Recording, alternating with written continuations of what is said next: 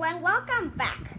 Today, I'm going to show you how to build a bison in Lego. Now, you don't have to do it in the same color as I do. So now, let's get started.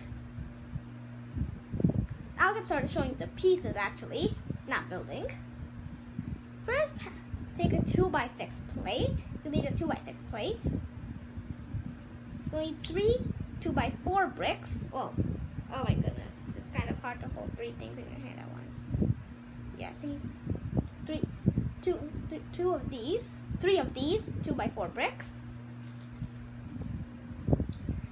Three of these two by two bricks. A one by two brick with these vertical, horizontal, I mean vertical lines and these horizontal lines.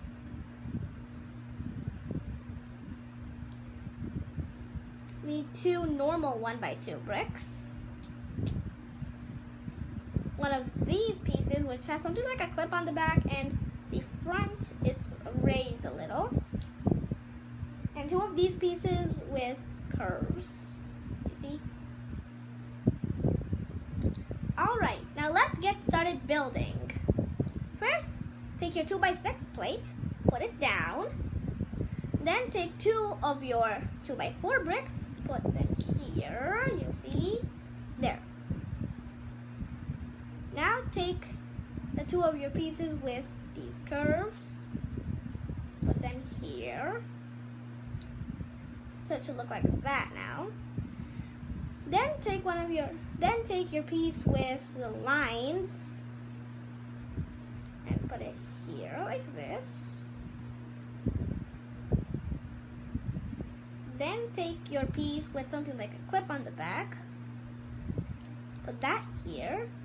See, now this is going to be the face, this is the horns, and this is the tail. Now take one of your 2 by 2 bricks and put it here. Take the last of your 2 by 4 bricks, put it there in the middle. And then finally, for the body, two of these 1 by 2 bricks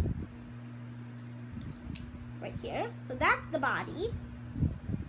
Now let's build the legs and then your bison's done. Just gotta put the legs here you can make them from your two by two brick, bricks. Alright, so that's your bison. You know that a lot of bison live in Yellowstone National Park, right? So I made other animals to go with this for Yellowstone National Park. For accessories, I made you a tree with a bald eagle. It's, yeah, there we go a bald eagle could sit on the tree, and a pelican could be down here pecking at the tree or something, I don't know. And the bison just could be resting here or here. So that was the Lego bison I made for you. I hope you liked this video and if you did, don't forget to like, share, and subscribe to my channel. Bye bye. See you on our next video and thanks for watching.